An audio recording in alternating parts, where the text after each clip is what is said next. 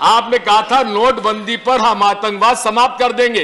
हुआ? जिस दिन डिमोनेटाइजेशन हुआ उसके तत्काल बाद ही आतंकवादियों के पास से नए नए करारे 2000 के नोट निकले।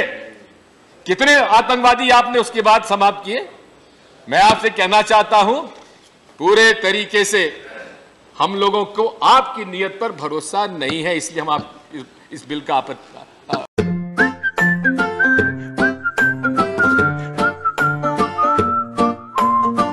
मेरे पार्टी की तरफ़ से दो विद्वान वकीलों ने बड़े अच्छे ढंग से इस अमेंड संशोधन के बारे में पूरे सदन को बताया है कि किस प्रकार से ये अनकॉन्स्टिट्यूशनल है और किस प्रकार से ये पूरे तरीके से ये केवल कुछ लोगों को लाभ देने के लिए किया गया है। मैं इसीलिए जो प्रस्ताव आया है कि इसे सेलेक्ट कमेटी में भेजना चाहिए उसका समर्थन करता हूँ। माननीय सभापति महोदय, जो माननीय चिदम्बरम जी ने बात कही है, प्रश्न नियत की हमें इनकी नियत पर संदेह है और इसलिए संदेह है क्योंकि कांग्रेस पार्टी ने कभी भी आतंकवाद के साथ समझौता नहीं किया। और ये कानून भी कांग्रेस पार्टी इसीलिए लाई थी। प्लीज़ प्लीज़ इसलिए लाई थी ताकि आतंकवाद के खिलाफ लड़ाई लड़ सके। दो बार आप लोगों ने समझौता किया है। रूबिया सईद जी को छुड़ाने के लिए और इंडियन एयरलाइंस में मसूद अजहर मसूद को छुड़ाने के लिए आपने समझौता किया है। कांग्रेस पार्टी ने कभी समझौता नहीं किया है। हम लोगों ने खोया है। इंदिरा जी को खोया है। राजीव जी को खोया है। सिंह सिंह जी को खोया है। हम लोगों ने कभी समझौता नहीं किया माननीय गृह मंत्री जी। इस बात को समझ लीजिए। मैं आपसे कहना चाहता हूँ कि आपके संशोधन जहाँ आतंकवाद से लड़ने का है हमें कोई आपत्ति नहीं हम समर्थन करते हैं।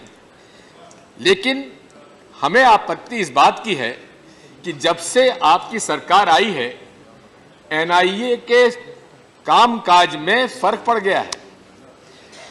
आपने जितने भी अभी केस आए हैं, उसमें 95 परसेंट जिसमें कन्विक्शन हुआ है एनआईए के, जो चार्जशीट किए गए, जिसमें फैसला हुआ है, तीन फैसलों में अपराधी बरी हुए हैं। कौन कौन से हैं? समझौता एक्सप्रेस, मक्का मस्जिद, अजमेर दरगाह शरीफ, तीनों में अभियुक्त बरी हुए हैं। और मैं आप, बताना चाहता हूँ कि Rohini Salian special prosecutor of NIA उन्होंने एफिडेविट दिया था कि मुझ पर दबाव डाला जा रहा है एनआईए के एसपी सुहास वर्के द्वारा कि इसमें जल्दबाजी नहीं करो। हमें आपकी नियत पे भरोसा नहीं है माननीय गृह मंत्री जी।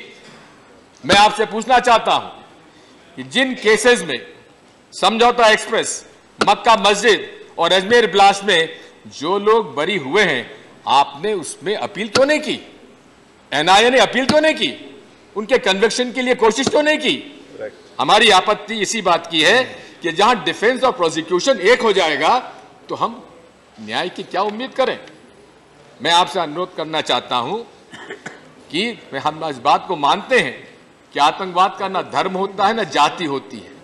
लेकिन मैं ये भी बताना चाहता हूँ, आप लोगों ने हमेशा एक धर्म की, के लोगों के खिलाफ एक माहौल बनाया है कि ये सब आतंकवाद से जुड़े हुए लोग हैं। लेकिन मैं आपसे पूछना चाहता हूँ एनआईए की मोस्ट वांटेड लिस्ट में पहले तीन नाम कौन से हैं? पहला नाम है लक्ष्मण राव। उर्फ़ गणपति। लेफ़्ट विंग एक्सट्रीमिस्ट दूसरा नाम है रामचंद कलंगसरा। दस लाख का उन पर आज रिवॉर्ड है। तीसरा नाम है संदीप दांगे। दस लाख का रिवॉर्ड है। ये कौन से संगठन से संबंधित है गृह मंत्री जी, आपको मालूम है, मुझे बताने की आवश्यकता नहीं है। और अगर मैं बता दूँगा तो आप सब लोग नाराज़ हो जाएँगे।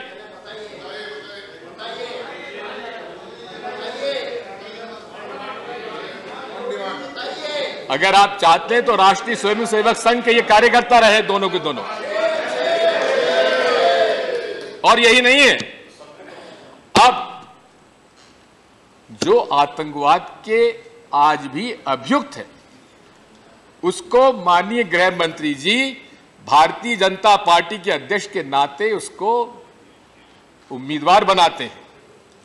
और वो आज लोकसभा सदस्य हैं। और साथ में मैं पूछना चाहता हूँ कि क्या शेड्यूल उनके लिए उनके लिए उनके लिए क्या शेड्यूल फाइव लगाया जाएगा? मैं आपसे बोलना चाहता हूँ, मैं आपसे पूछना चाहता हूँ कि शेड्यूल फोर आपने इंडिविजुअल्स रखा है। शेड्यूल फाइव उनके लिए रखिए। जो लोकसभा के सदस्य और विधानसभा के सदस्य अभ्युक्त हो आतंकवाद के, उनके लिए शेड्यूल फाइव का अमेंडमेंट लेके आइए। माननीय अध्यक्ष सभापति महोदय, बात वही हो आती है। नियत हमें दुख इस बात का है कि आज आपके लोग, आपके प्रतिनिधि नाथुराम गोडसे को देशभक्त कह रहे हैं। जो पहला आतंकवादी था आज़ाद भारत में, उसको आप देशभक्त कहते हैं। हम लोगों की नियत पर, आपकी नियत पे भरोसा नहीं है माननीय गृह मंत्री जी। मैं आपसे कहना चाहता हूँ, उसी के साथ साथ अभी जैसा इन्होंने बताया अर्बन नक्सलिज्म की एक बात आ गई है। कोरेगांव की इन्होंने बात की। माननीय सभापति आपको हैरानी होगी, उसमें मेरा नाम भी जोड़ा गया। और कहा गया कि इनका फ़ोन इनका फ़ोन नंबर उनके पास था। जनाब, मेरा फ़ोन नंबर राज्यसभा की वेबसाइट पर था। और मेरा नाम जोड़ा गया कि उनके पास मेरा फ़ोन नंबर था। स्वाभाविक है, जो इन्होंने कहा है if the central government believes सबसे मैं कहना चाहता हूँ कि सबसे पहले आप मुझे ही उसमें डालेंगे, मुझे भरोसा है आपकी बात पर। आपने कहा था नोटबंदी पर हम आतंकवाद समाप्त कर देंगे।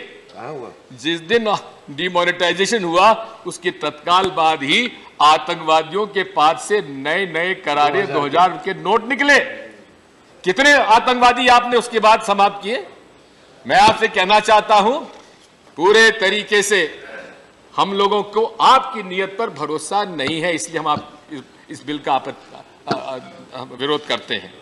मैं यहाँ तक ये भी कहना चाहता हूँ कि माननीय उपसभापति महोदय, माननीय गृह मंत्री जी, अभी इन्होंने गृह विभाग ने सिक्योरिटी का रिव्यू किया और सिक्योरिटी रिव्यू में आचार्य प्रमोद कृष्णम, जिनके ऊपर उनका थ्रेट है, उनको आपने सिक्योरिटी वापस ले ली।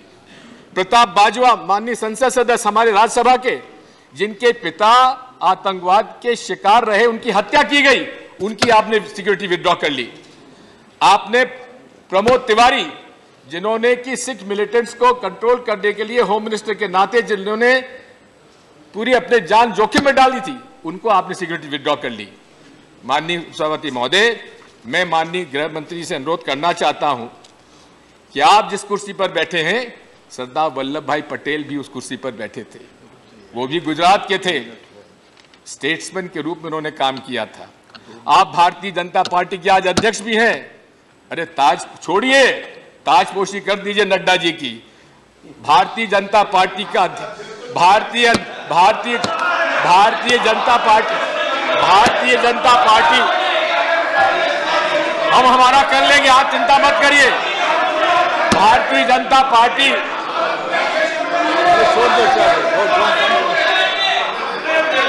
माननीय महोदय, हमें विश्वास नहीं है भारतीय जनता पार्टी के नेता के रूप में ये गृह मंत्री जी पूरे तरीके से राजनीतिक ढंग से काम कर रहे हैं। हम इस बात पे आपत्ति करते हैं।